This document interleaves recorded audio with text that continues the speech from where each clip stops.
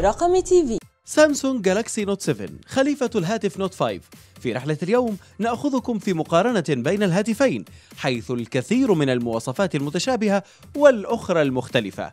هيا بنا. اولا التصميم. جاء النوت 7 الجديد بانحناء على جانبي شاشته تماما مثل ال S7 Edge في المقابل شاشة نوت 5 مسطحة. طول النوت 7 مشابه لنوت 5 وهو 15.3 سنتيمتر لكن عرضه 7.39 سنتيمتر بدلا من 7.61 سنتيمتر. بالرغم من أن النوت 7 أسمك من النوت 5 بثلاثة من عشرة ملم إلا أن وزنه أقل بجرامين. أي أن سمك النوت 7 يبلغ 7.9 ملم وزنه 169 جرام. ألوان النوت 7 جاءت مشابهة لنوت 5 وهي الأسود والذهبي والفضي لكن تم إضافة اللون الأزرق للنوت 7 ثانيا نوع زجاج الحماية.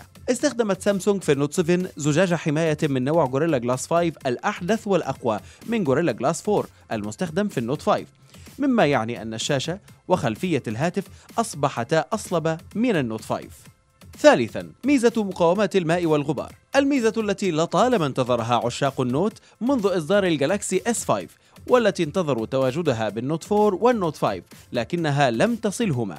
الآن أصبح النوت 7 مقاوما للماء والأتربة حتى عمق متر ونصف. الاختلاف الرابع كان في العتاد الداخلي للهاتف. في كل عام تضيف سامسونج أعلى عتاد لديها في هواتف النوت وهذه السنة لم تكن استثناء فالنوت 7 يأتي بمعالج Exynos 8890 أو معالج Snapdragon 820 اللذين يعدان أقوى وأحدث من معالج Exynos 7420 الموجود في النوت 5 الفرق الآخر بالعتاد جاء بسعات التخزين الداخلية. فالنوت 7 يأتي بسعة تخزين داخلية واحدة هي 64 جيجا بايت أما النوت 5 فيأتي بسعات تبدأ من 32 وتنتهي ب 128 جيجا بايت ولكن نوت 7 يدعم الذاكرة الخارجية حتى سعة 256 جيجا بايت وهو ما لم يتوفر بالنوت 5 خامسا الكاميرات. تميز النوت 5 بكاميرا قوية دقتها 16 ميجا بكسل العام الماضي. وهذا العام جاء النوت 7 بكاميرا 12 ميجا بكسل مشابهة لكاميرا ال S7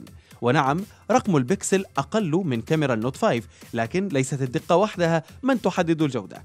فالنوت 7 يأتي بكاميرا فتحة عدسة أوسع 1.7 بدلا من 1.9 وحجم بكسل أكبر ب 1.4 مايكرومتر بدلا من 1.12 مايكرومتر للمساعدة على التصوير في الإضاءة المنخفضة مع إضافة تقنية Dual Pixel الخاصة بكاميرات R لجعل سرعة التركيز عالية جدا.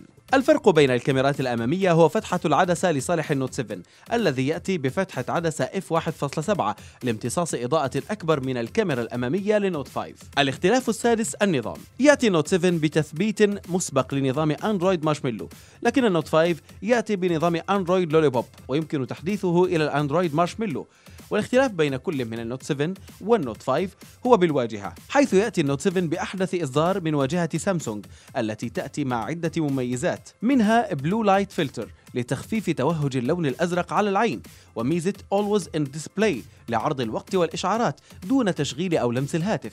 والخدمة السحابية Samsung Cloud وغيرها من المزايا. الاختلاف السابع منفذ USB-C أخيرا وبعد طول انتظار أضافت سامسونج منفذ USB-C نسخة 3.1 إلى النوت 7 والذي توقعنا إضافته للنوت 5 العام الماضي. المنفذ الجديد سيسمح للمستخدم إدخال سلك الشاحن دون القلق من الجهة التي يتم إدخالها. وليس هذا فقط بل سيزيد المنفذ الجديد من سرعة نقل البيانات بين الهاتف والحاسوب. الاختلاف الثامن حجم البطارية. علق الكثير من عشاق النوت العام الماضي على بطارية نوت 5 بأنها أقل حجما من بطارية نوت 4 مع أنها جلبت أداء مشابها لها. لكن هذه السنة سامسونج عدلت هذا الأمر وأضافت بطارية بسعة 3500 ملي أمبير أي أكبر من بطارية النوت 5 ب 500 ملي أمبير ليس هذا فقط بل هنالك ميزة لتقليل دقة الشاشة من أجل توفير البطارية. الاختلاف التاسع والمميز ماسح قزحية العين. الميزة الفريدة التي لن تجدها في معظم الهواتف وليس النوت 5 فقط هي ميزة فتح قفل الشاشة عبر ماسح قزحية العين وهي سريعة ودقيقة حسب ما قالت سامسونج. بل ويمكن الدفع إلكترونيا عبر هذه الميزة. الاختلاف العاشر القلم S Pen قلم النوت 7 تم تحديثه.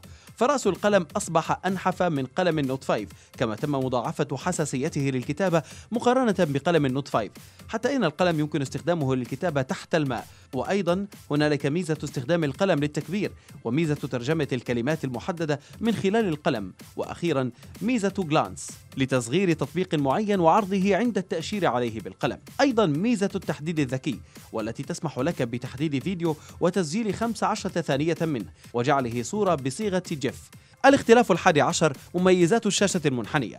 الانحناء الموجود في شاشة النوت 7 ليس جميلا فقط لدى الكثيرين بل مفيدا للبعض حيث أضافت سامسونج بعض الخصائص لحواف الشاشة مثل خاصية People Edge التي تظهر الأشخاص المفضلين عند سحب جانب الشاشة المنحنية وخاصية Apps Edge التي تظهر التطبيقات المفضلة لديك وغيرها. الاختلاف الثاني عشر والأخير سعر الهاتف. يأتي نوت 7 بسعر مرتفع نسبيا. فهو يبدأ بسعر 850 دولارا لنسخة 64 جيجا بايت. في حين أصبح سعر الجالاكسي نوت 5 500 دولار لنسخة 32 جيجا بايت و600 دولار لنسخة 64 جيجا بايت.